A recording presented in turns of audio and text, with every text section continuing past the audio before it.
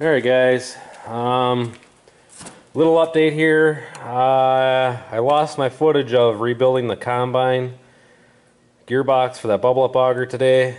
Uh, don't ask me how. Um, as you can see, there are the two gears. If I cleaned all the crud out of those teeth, there are decent teeth left on it, but it's not worth putting used junk back in there. There's what's left of the bearings and the snap rings and everything. I changed all that stuff. Packed full of new grease and uh, oil mix. Put it back in the combine. The combine is ready to roll.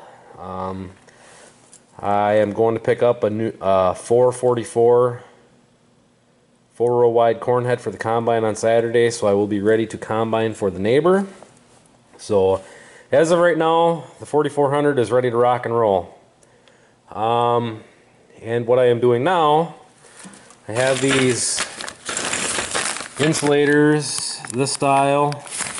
Um, what I am doing is I am taking them, and here you can see this one, you know, this is what they look like. Um, what I am doing is I am cutting a notch in them, or cutting a slot in them so I can slide these over the high tensile wire. Um, and then I'm going to go get some pipe hanger that will fit in this groove and I can screw it to the tree. Um, I might have to wrap some electrical tape around here, not for sure yet. We'll see how it all works out. Um, but the problem I am having is on the one property line, when I put the fence up, um, the neighbor did not want me cutting down any of the trees that had wire in them from the old fence. And you guys know that I want to buy the land from him, so I'm not going to sit and argue with him over that. I just hooked the wire to the trees and we set T-posts in the ground where the old wires were and whenever a tree falls down we will straighten the fence out when that time comes. Um, keep my fingers crossed he sells me land before that and I can take all that down and move it to the new property line. But that's not happening yet. So anyway, so what I'm doing, you can see I'm notching these in. It, it takes a little bit to get uh, high tensile wire to slide through that notch. So I don't think I'd ever have to worry about the wire coming back out. Especially if I hooked it to the tree and that notch was straight up and down. Um, but I'm going to go get the copper um, tube or pipe hangers that'll slide over here. Then I could take two pole barn screws and screw them to the tree. Um, the problem I'm having is the deer hit it and they will they will break those wood post insulators, the type that have a pin lock in them. I like those kind of insulators, but they're they don't hold up in that situation if they're going on a corner post and it's on the back side. So when a deer were to hit it, it's actually putting pressure into the post. Then they're fine. But if it's the other way, they don't work very good. Which you know, obviously they wouldn't. But, and then the other problem I'm having is as the tree grows, it breaks the insulators as well. It would help if I didn't have the screws tight, but if I don't have the screws tight and the deer hit them, they, they break too. So I'm hoping that I can use these. And when I put them on the tree, I'm going to kind of leave them a little bit loose so the tree has room to grow. And uh, I'll just have to check them every year, every other year, and just back the screws out of here if I have to so they don't break. but so that's what I'm attempting to do.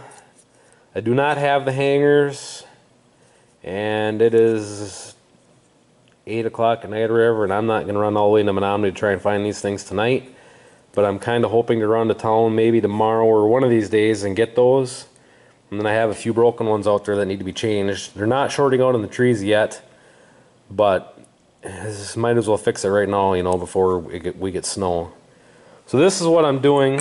This one here I notched out a little bit wider. In, in the high tensile wire fits through there pretty snug. Um, worst case scenario I'll wrap electrical tape around the inside here so the wire can't short out on anything. But, so I guess if there's any of you other guys out there that have the same kind of situation where you're hooking wire to trees, what do you guys use for insulators? Um, more specifically if you use high tensile wire 12 and a half gauge wire um, what are you guys using? Um, I would really like to just cut the trees down but I don't want to make the neighbor mad because I'm really crossing my fingers that he'll sell me this land someday in the near future so I really don't want to make him mad. And he's all about deer hunting so and like I've told him if he sells me the land I would still let him hunt the land because I have no intentions of going up there to hunt I have all kinds of other places I can hunt. So I don't really need to go up on top of that hill to hunt. Anyhow, so that's a lot of why I can't cut the trees down. A, he's he's afraid that I would, you know. This has been an argument a couple years ago. Um, there hasn't been an argument lately, but I don't want to create an argument either. So this is kind of what we're dealing with. Like I say, I do not have the copper things and it's late at night so right now I'm not going to go get them but uh, basically I'm just kind of showing what's going on here and once I get the other stuff we'll go and change a couple of them I'll video that um, let you guys see exactly what it looks like when it's done. Um, but yeah if anybody else has experience with this type of issue let me know. Um, I know you can get the the type of insulators that it's uh it's like a lag bolt that threads in, then it has a 90 degree on, and this goes on, and then it has a, a nut that goes on top to hold this on. The problem is, with high tensile wire, you really don't want to wrap it around this if you don't have to. Um, so I'm kind of hoping to put the wire straight through that hole, and hook this to the tree.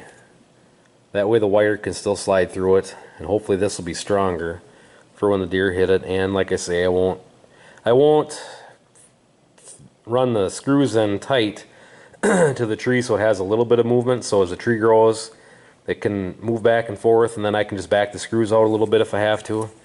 Um, so yeah that's what's going on.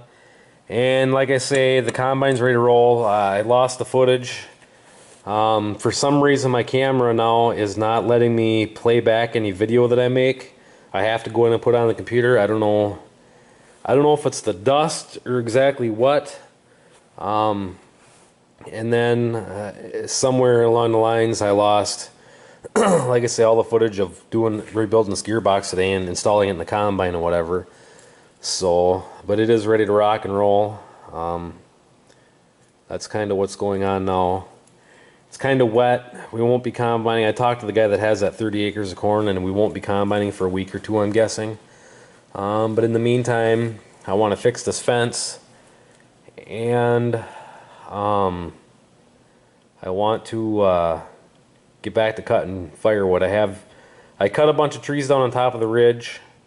Um, they need to be all cut up and hauled down. And then along the property line, trees are on my side of the fence. I'm going to cut down and drag them down the hill with the gator to get them on the flat ground on the bottom and then buzz them up.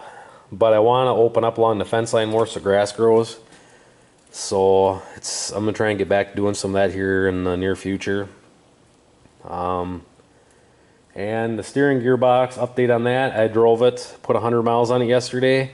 I actually maybe over tightened it a little bit. It's almost, it's not hard to steer, but it is definitely harder to steer. Um, but there's really no play in it, so I didn't have any death wobble yesterday or anything, so that was a good thing. Um, so it should be ready to go down Saturday to get that corn head. That'll be about another 100 mile round trip. So, and then I'm figuring this winter, I'm going to order the steering gearbox and then a Sinister steering gearbox reinforcement frame. Um, has a bearing that goes over the output on the steering gearbox. It's supposed to help stiffen that up, prevent it from early failure. Um, so that's kind of what's going on there. The truck's seems to be working good. I'm just kind of playing out here in the shop with these things. Um, yeah, that's what's been happening. So, anyways, guys, hopefully there will be some combining videos yet to come. Um, I do have more round bales of corn stalks to make once my buddy gets done combining. Um, he needs a bunch of bedding for the pigs and for his beef. And I told him that I would trade him some baling for corn stalks or whatever. So I should be getting more bedding there too. Um, yeah, that's kind of kind of all that's going on right now. So just wanted to update everybody on that. Um, so, anyways, please comment, rate, and subscribe, and stay tuned for more. Once I get the parts for this, we'll go out and hook some of the trees and see how that looks.